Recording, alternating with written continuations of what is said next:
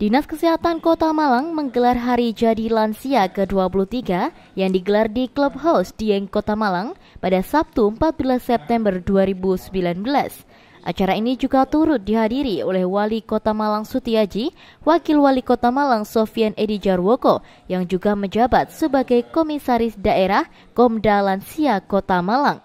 Ketua DPRD Kota Malang, Imade Riandiana Kartika, dan juga Kapolres Malang Kota beserta 400 lansia sekota Malang. Acara ini digelar bertujuan untuk mencapai kualitas hidup yang optimal dengan biaya pelayanan kesehatan yang efektif dan efisien bagi lansia.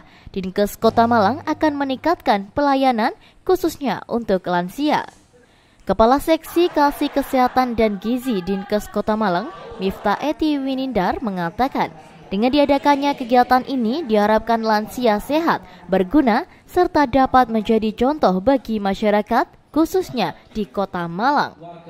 Miftah menambahkan saat ini lansia di kota Malang memasuki angka kurang lebih 92 ribu jiwa dan itu adalah angka yang besar, lebih banyak daripada jumlah balita. Peringatan untuk hari ulang tahun lansia yang ke-23, hari ini kami menghadirkan 400 orang lansia jadi kami semua di sini merancangkan untuk hari ulang tahun lansia dengan harapan lansia sehat, lansia yang berguna, dan lansia yang menjadi suri teladan bagi generasi muda.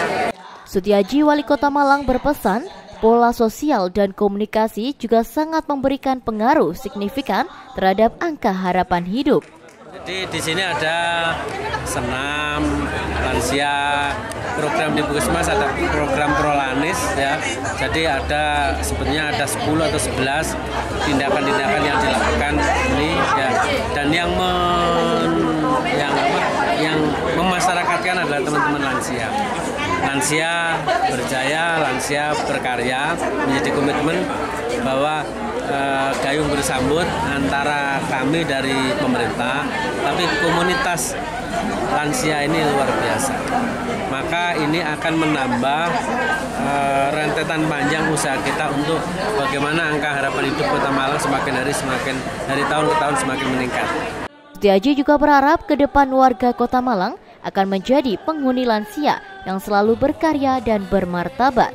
Dari Kota Malang, tim liputan Kejayana TV melaporkan.